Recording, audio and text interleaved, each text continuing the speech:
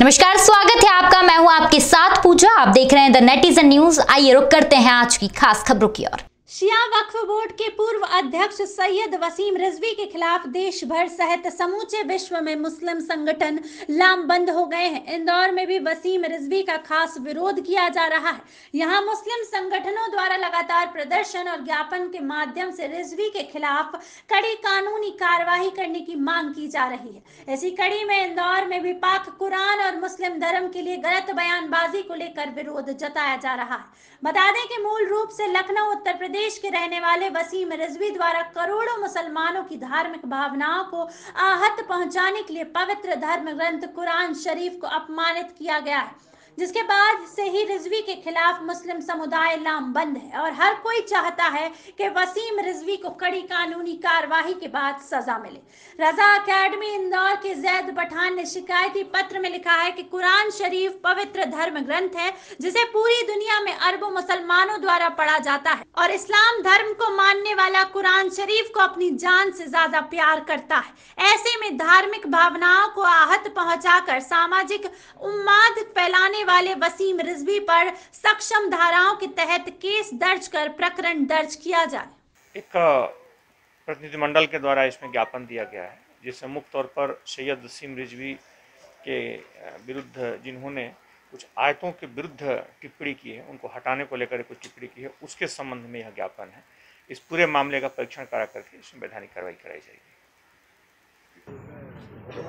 जो एक लानती शख्स शख्स है मानसिक जिसका संतुलन बिगड़ चुका है, जो कहीं ना कहीं मुल्क को तोड़ने वाली जो ताकतें हैं, उनके हाथों का प्यादा है, जिसका नाम वसीम रिजवी है, वो अभी तक के इस्लाम और इस्लाम की मोतबर तमाम शख्सियत के शान में कई बार गुस्ताखियाँ करते हुए आया है।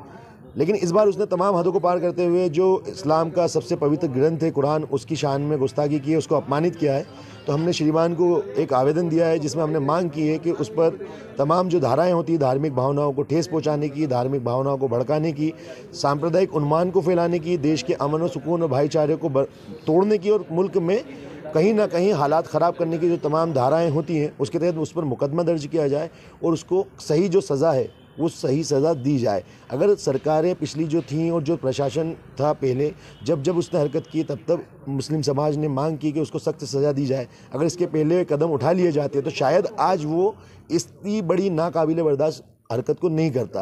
लेकिन इस बार जो है, हमने फिर मांग की है और अगर इस बार प्रशासन कार्रवाई नहीं करता है तो हम जो एक संविधान ने अधिकार दिया है एक आम नागरिक को कि कोर्ट में जा के एक सीधा मुकदमा दर्ज कर सकते हैं तो हम उस कदम का सहारा लेकर के आगे कार्रवाई करेंगे। सर बताइए क्या शिकायत आज हम पूरा मामला क्या है? आज हम आई ऑफ़िस आए थे सर से मुलाकात की हमने। और जैसा कि आप पूरी हिंदुस्तान में पूरी दुनिया में एक बेचैनी है कि ऐसा पागल शख्स जिसके खिलाफ कई मरतबा कार्रवाई की गई। दरीदा दहन गुस्ताख कभी हमारे इस्लाम पर कभी किताबों पर कभी नबी के सहाबा पर तहमत इल्ज़ाम लगाता है। और ये हकीकत में एक दहशत गर्द शख्स है ये इस्लाम। हमारे मुल्क के जो भाईचारगी है, उसको ख़त्म करना चाहता है। ऐसे और मुल्कों में आपस में लोग लड़ते हैं ना, ऐसे हमारे यहाँ भी ये फितना लड़वाना चाहता है। हम तो इससे बेजार हैं और गुजारिश करते हैं गवर्नमेंट से कि सख्त सख्त कार्रवाई की जाए और ये पागल है तो पागल खाने पहुँचा दी जाए। कुरान मुक़दस अल्लाह की मुक़दस किताब है, उसमें कोई तरमीम, कोई तब्दीली नहीं हो सकती। ख़ुद अल्लाह ने फरमाया, ला तब्दील कलीमत अल्लाह के कलाम में कोई तब्दीली नहीं हो सकती, क़यामत तक। अब ये तो ऐसे फितने आते रहे हैं और हम इसके लिए दुआ करते हैं कि अल्लाह इसकी हिदायत दे और ये और हिदायत अगर इससे नसी में नहीं है तो इस हला को बर्बाद फरमाए। फ़िलहाल अभी के लिए बस इतना ही। लगातार खबरों के लिए बनी रहेगा हमारे साथ। नमस्कार।